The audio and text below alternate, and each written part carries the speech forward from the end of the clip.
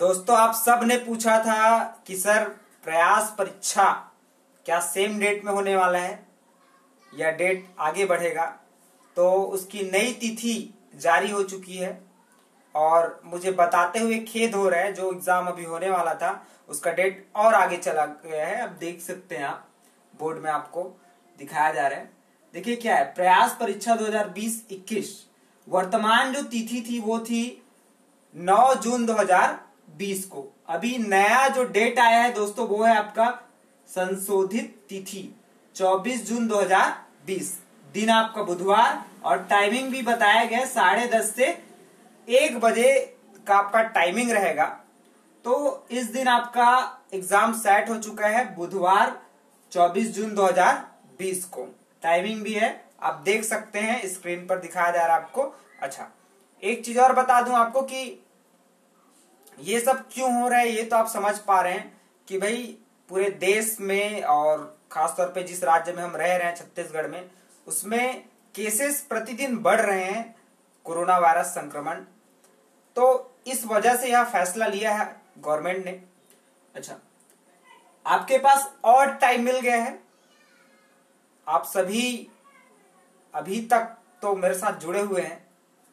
तो आप जुड़े रहें और आपका बहुत बेनिफिट इस बार होने वाला है, आपका सिलेक्शन ज़रूर होगा।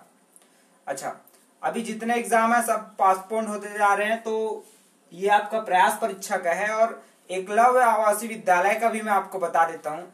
उसका भी डेट चेंज हुआ है। वे भी जो बच्चे दिला रहे होंगे। अच्छा एक चीज़ और, मेरे बहुत सारा कमेंट्स आते हैं, सर, कौन से क्लास के लिए? तो आपको क्लियर बता दूँ, ये क्लास नाइन्थ के लिए ही है। कक्षा नौवीं के लिए। जो प्रवेश परीक्षा होता है, प्रयास का उसके लिए है और जो आप इलेवेंथ के बच्चे होंगे तो उनका तो अभी कोई नोटिफिकेशन आया नहीं है, आदिम जाति कल्याण विभाग से तो उनका परीक्षा तो अभी होना नहीं है, क्योंकि फॉर्म भरे ही नहीं गए हैं। अच्छा एक चीज़ और की इसमें आपको ये चीज़ें तो समझ आ रही होगी कि जो फॉर्म भरने की तिथि थी, वो समाप्त हो चुकी है। केवल जो परीक्षा की तिथि है, वो चेंज हुई है। तो ये एक चीज़ आप क्लियर कर लीजिएगा। चलिए, एकलव्य आवासीय विद्यालय का भी देख लेते हैं क्या है उसमें। एकलव्य आदर्श आवासीय विद्यालय कक्षा छठवीं में प्रवेश हेतु। चयन परीक्षा जो वर्तमान तिथि थी, वो थी 11 जून 2020 अभी जो नया तिथि आया आपका, संशोधित होकर, वो है आपका 26 जून 2020 दिन आपका शुक्रवार और टाइम है आपका साढ़े दस से साढ़े बारह।